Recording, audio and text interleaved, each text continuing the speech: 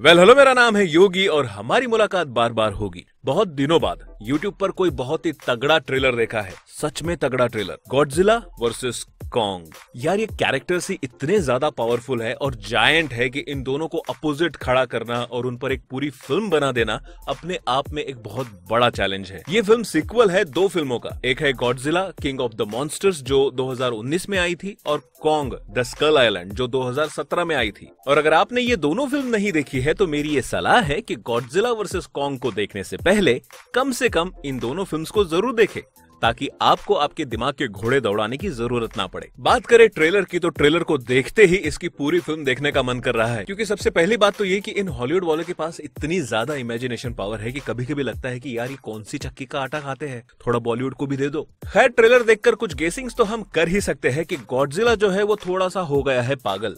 और लोगों को तबाह करने पे तुला हुआ है। और अगर उसको कंट्रोल करना है तो उसके ही जैसा कोई तगड़ा, दमदार पहलवान चाहिए जो उससे मुकाबला कर सके। तो स्कल आइलैंड से लाया जाता है अपने किंग कॉन्ग को, जो ह्यूमन इमोशंस को समझता है, ज़्यादातर लड़कियों को। वैसे ट्रेलर में इतने धासु विजुअल इफेक्ट्स है तो थिएटर में इस मूवी को देखने का मज़ा ही कुछ और होगा। हाँ लास्ट में एक सीन है जिसमें कॉन्ग गॉडजिला के हाई बीम को बचाते हुए उसके मुँह पे धड़ाम से मारता है।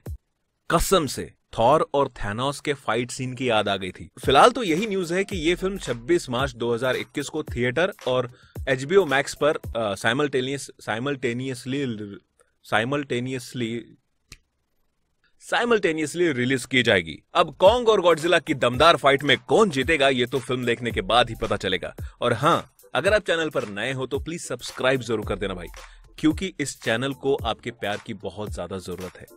मिलते हैं अगले वीडियो में Bye.